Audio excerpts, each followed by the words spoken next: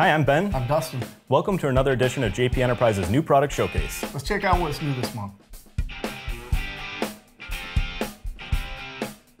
All right, so JP started out making a really nice practice 22 rifle for like three gunners and guys that wanted to possibly train out to some long distance. But now with Steel Challenge really coming on strong with 22, JP's really jumped into that market. So you want to give me a little bit more idea of what we've got coming out right now? Yeah, absolutely. It's a new lightweight 22 action. So it's our low mass 22 long rifle action and reduced mass. It's got a lot of benefits to it, especially for these competitions where all out speed is what we're going for.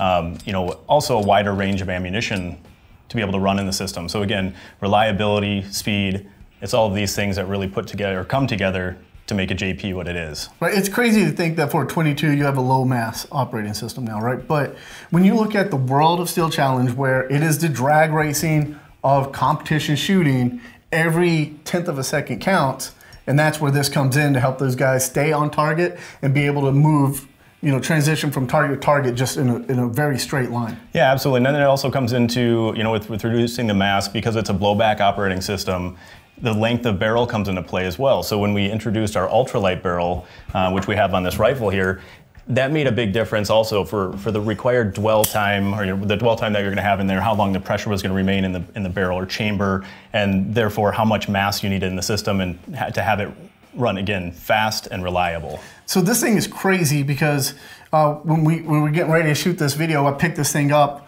um, from one of the manager, managers here, gave it to me, and it feels fake. I mean, it is so light. It is the perfect setup for these Steel Challenge guys. Oh, yeah. And you got any kids, like I have kids, a lot of our sponsor shooters have kids. This is a great setup to get them in to, for shooting. Yeah, absolutely. Very easy to handle. Obviously, the weight out front on the rifle is extremely light, so obviously your swing and just the ability to support the rifle is much easier. Right. Um, you know, so to complement that, getting into the 22 low mass operating system has made a big difference.